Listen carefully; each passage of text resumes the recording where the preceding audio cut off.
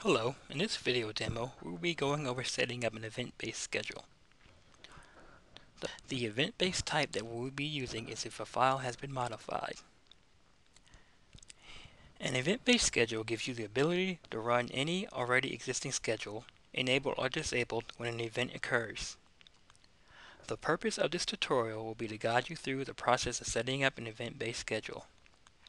You can use this schedule on its own are in addition to a regular time-based schedule for a same report. To create an event-based schedule, click on New Schedule, then choose Event-Based Schedule. From here, enter in your schedule name, which we're going to call Event-Based.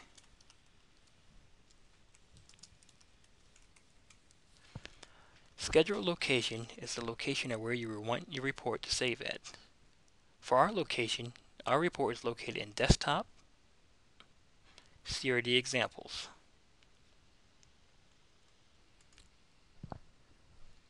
For description, a description is used to help others identify exactly what this schedule is and what is expected to do. For keyword, enter some keywords which can be used later by smart folders to identify this schedule. Once this information has been entered, click on Next.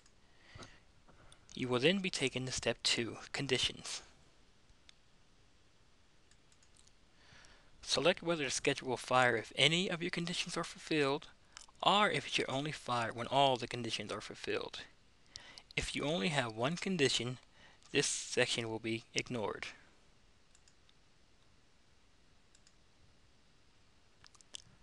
Click Add to define a new condition edit to edit an existing condition, or delete to delete an existing condition. For add, we'll be selecting if file has been modified. From here, you choose the name of the condition. From here, you choose the name that you would like to call your condition. You can select the file has been modified equal to true are false. From here we're going to select true. File details, you choose the location of your file.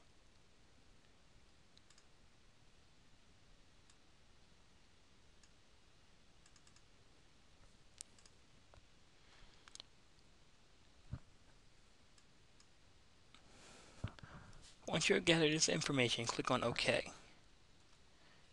You can then click on the next screen to continue on.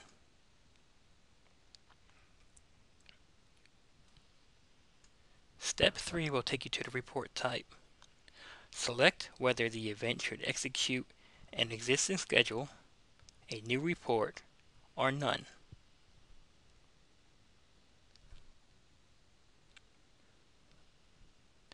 In this demonstration, we're going to be selecting to execute an existing report.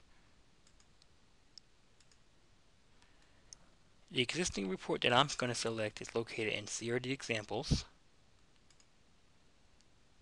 CRD single schedule test. You will then be taken to the exception handling screen, which is step 5, in the schedule options. This screen lets you specify what should happen if there is an error running in the schedule.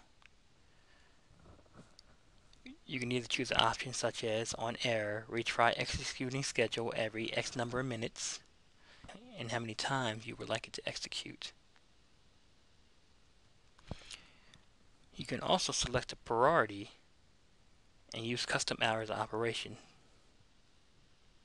The hours of operation allows you to specify the hours between which the event will be allowed to trigger the schedule.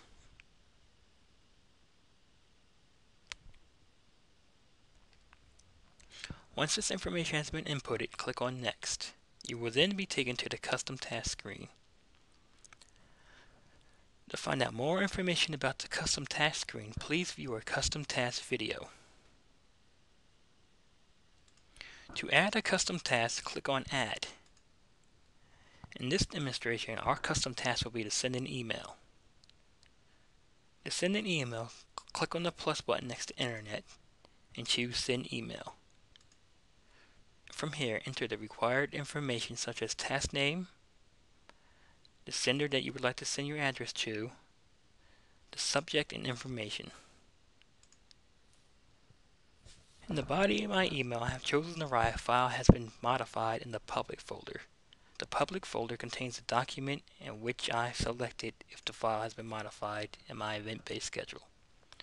Once you have entered in this information, click on OK. And then click on Done. You then have the option to add another custom task, edit the task that you just selected, or delete the task. You can also import default tasks for CRD, or export the task.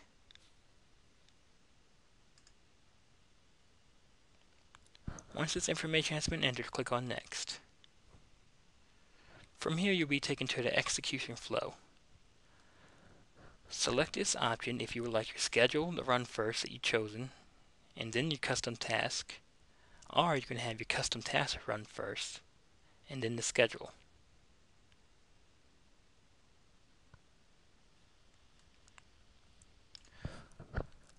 Once you have chosen the flow of your execution type, click on Finish. This is how you set up an event-based schedule.